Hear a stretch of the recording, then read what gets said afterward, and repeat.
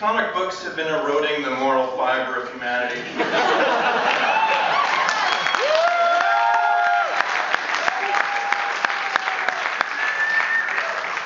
For nearly 40,000 years. Ever since an unemployed and unemployable Cro-Magnon scribbled the word oof beneath a cave painting of two bison colliding. Creative types been foregoing productive careers in illustration, advertising, pizza delivery, and middle management to instead spend their time inventing ever smaller and more useless spandex costumes for increasingly inexplicably busty women. In this field of distilled moral turpitude, comic book writers are the ringleaders. They convince otherwise innocent artists to skip class, hang out under the bleachers, drawing over-muscled monsters tearing apart undermined authority types.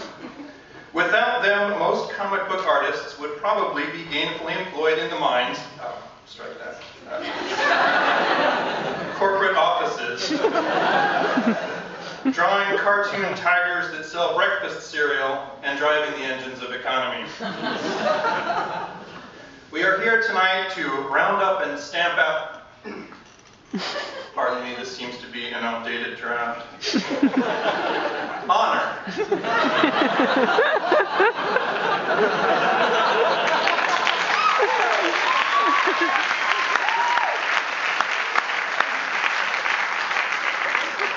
the most egregious of these.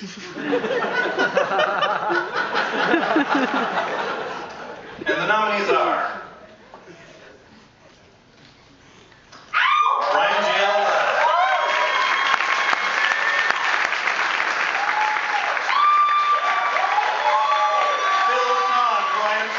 not been filled by.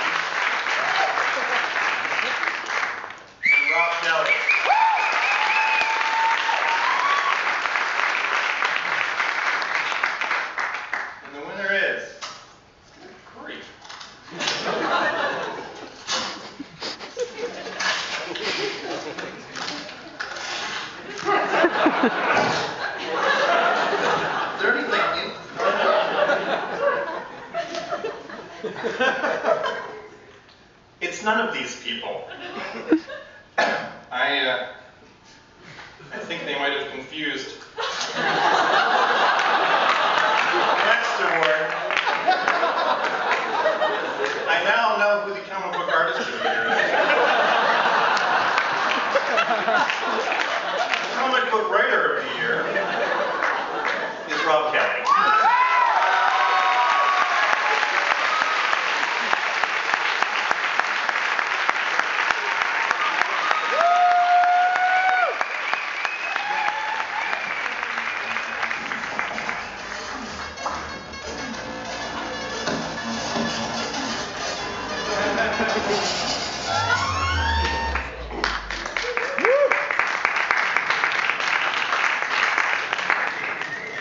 There is some suspense for you, isn't there?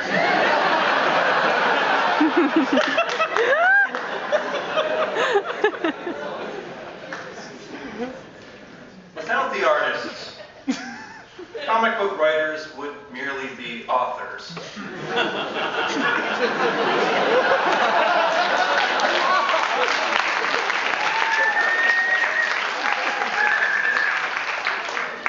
Flying their morally bankrupt trade in the slush piles of magazines where they could do no harm unless people actually read. it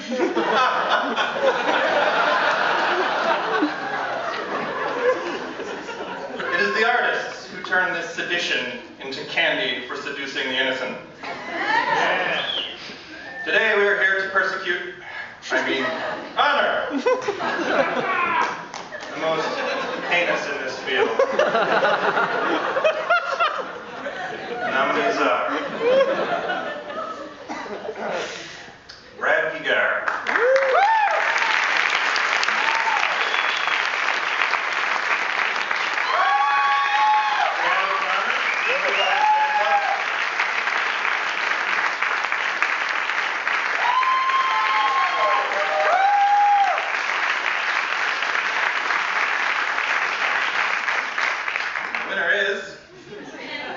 Grab your guy.